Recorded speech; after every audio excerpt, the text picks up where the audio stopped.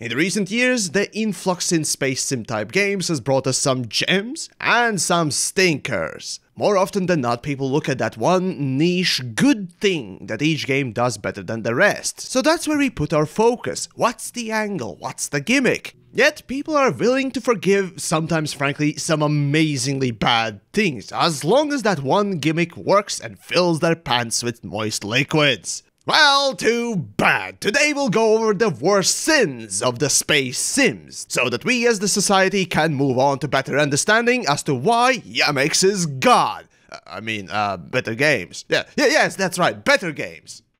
But before that, if you want to support the channel a little bit more, well then check out the merch store down below in the description. All the best merch is there.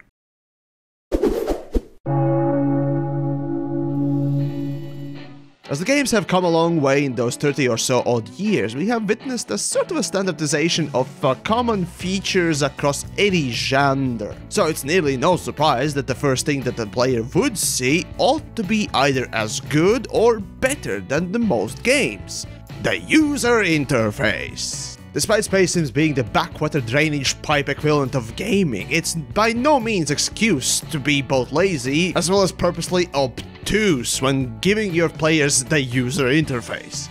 Worst offender today would be definitely Egosoft's X4 and Star Citizen. Now, while Star Citizen is more like a 20-something girl traveling everywhere trying to find itself, X4 on the other hand sticks to its guns and says, This is UI and you will like it! Sorry, but no. I know space sims are a part of the simulator family, where user interface and user experience often is met with shit-smeared handshake. But by fucking gods, it's the reason why most people don't bother picking up space sims. Your fucking UI is like a burn victim. Also, I blame EVE Online for normalizing this. You show these youngsters that it's okay, damn it. Another sin, or rather interesting phenomenon I've witnessed in the most prevalent space sims of late, the tendency to shove out massive, near infinite galaxies thanks to procedural generation. That rather than focusing on having the gameplay, you push the limits of the sandbox. And I get it, space is vast, but that does not mean that your gameplay also has to be as empty feeling. Elite Dangerous perfectly shows this off as the game literally has over 400 billion systems with even more celestial bodies within them. However, what happens in more than 99 99.9% of them, and I shit you not, I'm being very generous here, is either nothing or very little. Understand, you don't need a big sandbox for your game to feel big. Get it? And speaking of procedural generation, while Space Sims are not the only games out there, they certainly seem to have developers that more and more try to rely on algorithm-based content generation. Be it planets or systems, it's just so easy to write a bunch of if statements and watch quote-unquote content pop into existence. See, I too make content. Sometimes I do it on the toilet bowl. However, just because it's quick and easy, doesn't mean it's good. Point is, with the games like Elite, No Man's Sky, Earth Analog and countless others, the love for handcrafted content has gone, it seems. Yes, it takes time, but it's worth putting in the elbow grease, crafting the more commonly played play spaces. Surprisingly, Star Citizen would be kind of a good example here. Oh god. But let's zoom out a little bit. Space sims by nature are a niche within a niche, basically. A space-based flight simulator or dogfighting game most of the time. A common mistake I notice a lot of them making is going even deeper on something specific. See, I as a creator too have noticed this. While I know perhaps about one specific thing a lot of information and I feel even compelled to create something super specific, I stop myself. You do need to appeal to more people rather than less. Simply put, space sims are already deep enough, and going any deeper on mechanics won't really benefit anyone. Yes, a detailed flight mechanic might be a really cool thing, but you know what would appeal to more people? Not flying. Yes, let's say an FPS gameplay. Take EVE Online or X4 for example, both focus so heavily on the trading gameplay that both have lost track on what could benefit the game more, say a better UI, or altogether a new feature. And yes, I know EVE Online has a great track record on that, but I blame that on execution, damn it. Which brings us to the opposite end. Let's call this the No Man's Sky syndrome. Trying to be too appealing has its own negatives. See, space sims are really a subdivision of flight sims, so to some extent there has to be a certain depth to mechanics to have the niche appeal, but my story here goes for not getting the tunnel vision, which literally is the 90% of the case in the games, while however attempting to pull back from the simulator background in the case of No Man's Sky may do more harm than good sometimes. Take Outer Wilds as an example. It too tries to go too simplistic and due to it loses out on being taken a bit more seriously. But what about the simulator part? Well, I already mentioned this, but the one thing I simply cannot stand this niche of a niche genre is due to the tunnel vision. You overcomplicate your game. I could even say that Space Sims are a programmer's game. In fact, Earth Analog is exactly that. But even then, generally speaking, every single one, with exception of maybe No Man's Sky and Outer Wilds, seem to overcomplicate their mechanics or features. I usually like to say that space sims have to be complex, yet not complicated. This means that you have to have depth of your features, but they need not, nay, must not, be difficult to grasp.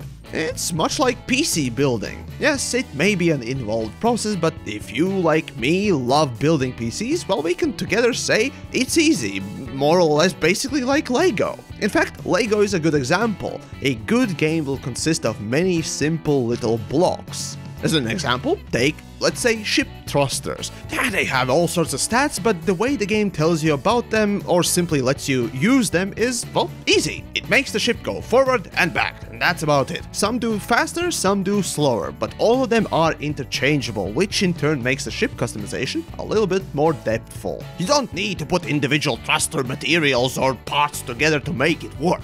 There's really no need for that. Or the these ship thrusters can only be used on these ships and blah blah blah. Kerbal Space Program, as a matter of fact, is the perfect example on how to make complicated things simple but yet complex.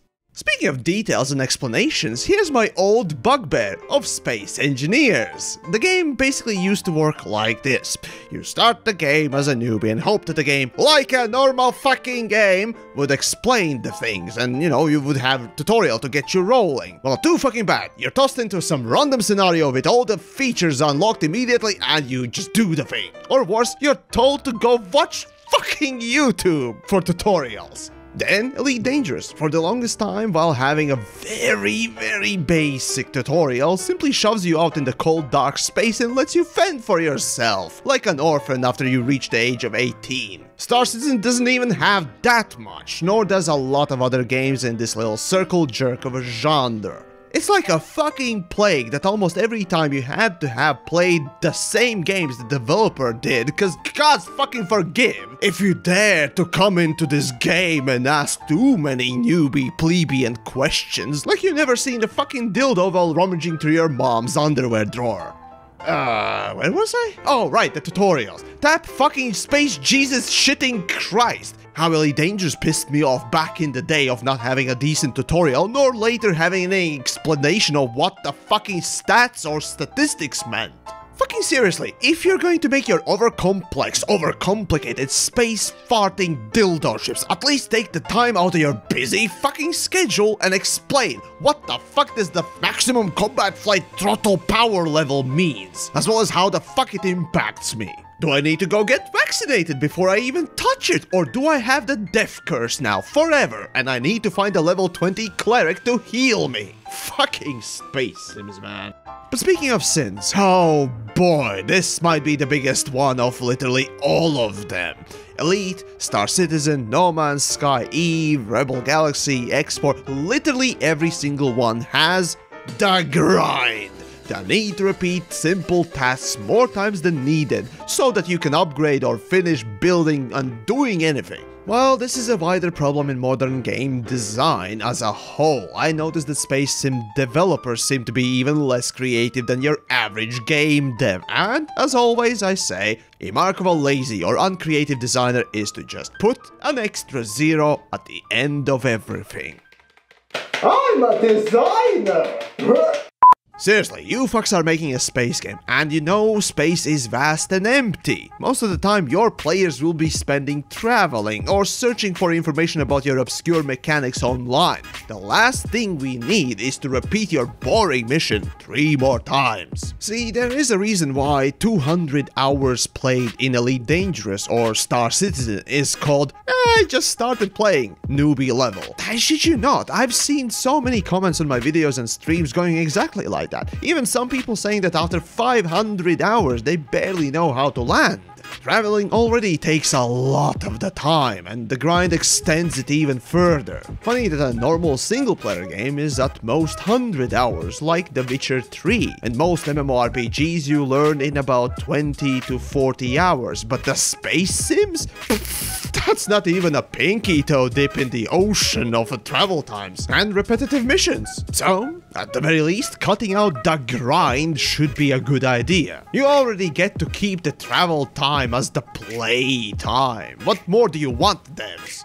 But overcomplicated is not only mechanics sometimes. Due to sci-fi settings, some developers decide to go, well, what they think is artistic. In reality, they make the most overcomplicated, overconvoluted nonsense scribblings that are known as the game's lore. EVE Online springs to mind right away, right after Elite, again Star Citizen and the artsy-fartsy indie bullshit that is No Man's Sky frankly infuriates me at times. Then Starpoint Gemini trying to make some kind of a Mass Effect wannabe story which devolves into verbal diarrhea while the gameplay is begging for attention, like the oldest child in the family. However, despite my distaste for the modern open-ended nonsense endings like the No Man's Sky or or the never-ending travesty that is Elite's story dumpster.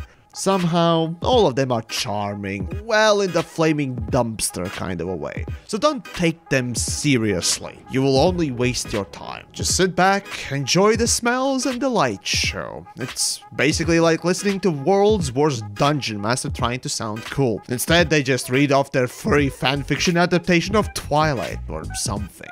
Oh, and here's a gripe that you may find aggravating of not having HOTAS support, or rather not having HOTAS support. Well, the thing is, I am that kind of a pleb that always flies with a keyboard and mouse, so I don't care about this particularly too much. However, considering that uh, these are supposed to be simulators, well, specialized hardware and the so-called Dad's Superior Space Sim Rig gaming thing has to be supported. Fact is, people do expect support for the real controllers. Uh, well, not this garbage. Seriously, No Man's Sky, you brought in literally everything. Crossplay, VR, multiplayer, and more, but still no real HOTA support? The fuck? But finally, the sin that modern games all too often are ready to commit. Going early access. Yes, betas, alphas, simple early access is far too common and also far too accepted today. Some developers know that if you put an early access title on the game and release the broken piece of shit that barely works, as long as you promise the world to the players, you will still get people buying the stuff. And no, surprisingly, my first example is not Star Citizen.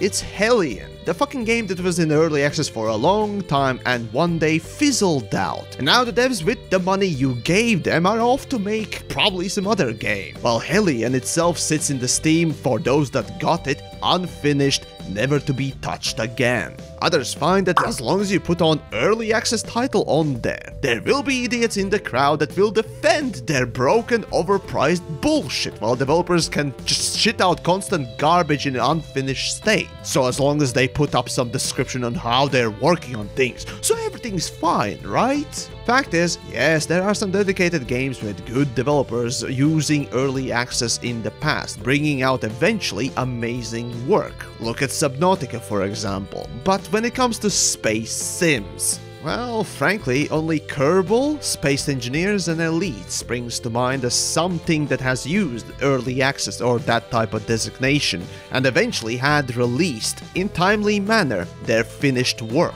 Most of all, Star Citizen, of course, Star Citizen really is the big elephant in the room. There is no escaping the fact that it impacts already, not only what the subgenre does, but the gaming as a whole, and moreover, crowdfunding. It is why we must be hard as customers and consumers about these early access titles that use and abuse them. It's ripe ground for all sorts of shit. And with that, that's the biggest sins of Space Sims. Ah, boy did that title rhyme well. Anyhow, there are more smaller issues like microtransactions and prevalence of that, and design principles, as well as artsy-fartsy styles. But I'll leave it for the perhaps next time, or at least up to you to discuss it in the comments. So let me know what are the sins you cannot stand among your favorite sim games, not necessarily the space-related ones. Frankly, for me it's definitely the overcomplicated nature, when all you had to do is to be complex. So, if you enjoy my colorful work and wording, perhaps you would be inclined to help me out in turn. So, check out my Patreon, every little bit helps. Seriously, it really does. Or perhaps check out my merch store or other useful links down below. For now, that's about it. Oh, and if you wondered why I didn't mention anything about graphics and anything like that, well, it's a niche of a niche of a niche. Most dev teams are at best maybe 10 people, so I didn't expect world from them. I mean, I'm not a Star Citizen zealot after all.